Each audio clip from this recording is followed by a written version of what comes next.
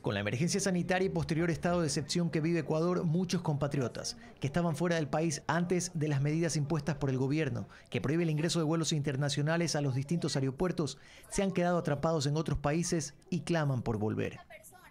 Existen reportes de ecuatorianos en México, Brasil, Estados Unidos, Chile, Argentina, Inglaterra, que esperan recibir la ayuda del Estado a través de consulados y embajadas para lograr retornar. Sin embargo, la situación se agrava porque no encuentran respuestas y los recursos se empiezan a agotar. Bueno, ahorita nosotros somos como 30 ecuatorianos que estamos aquí.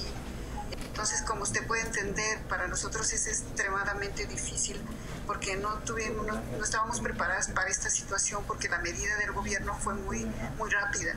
Mediante videollamada, esta compatriota que viajó a realizar estudios a la ciudad de Bauru en el estado de Sao Paulo nos cuenta la desesperación que viven y los contactos que hacen para intentar volver. Sí, claro, hemos hecho documento, hemos tenido conversación, pero lo que nos han dicho es que, que no hay como que, que simplemente aquí en el recinto universitario nosotros debemos de quedarnos porque pues, el gobierno no nos puede ayudar. Esa es ¿Por qué no los puede ayudar? ¿Le han dado alguna respuesta concreta? Que no tienen recursos. Esta situación se da porque en Ecuador desde el lunes 16 de marzo a las 23.59 se fijó el plazo límite para el arribo de ecuatorianos al país, lo que ocasionó la posterior suspensión de vuelos de las distintas aerolíneas. Eh, estaba ayer hablando con la aerolínea, nos estábamos separando pasajes para el 6 de abril, pero ahorita me acaban de comunicar que cambiaron las regulaciones que para el 1 de mayo.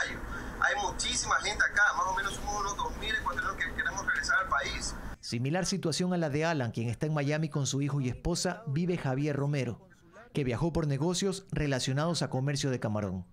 Las tarjetas ya no pasan, que paguemos las deudas. Me han llamado todas las tarjetas, señor, tiene que venir a pagar, señor, estoy parado en Miami. No nos importa, esa es la contestación. En Estados Unidos, de acuerdo a cifras de la asambleísta alterna por los migrantes, Paquita Cabrera, se calcula que podrían estar alrededor de 3.000 ecuatorianos a la espera de volver al Ecuador. Y también en México, más de 250 compatriotas estarían pernoctando en aeropuertos hasta encontrar una solución para su retorno.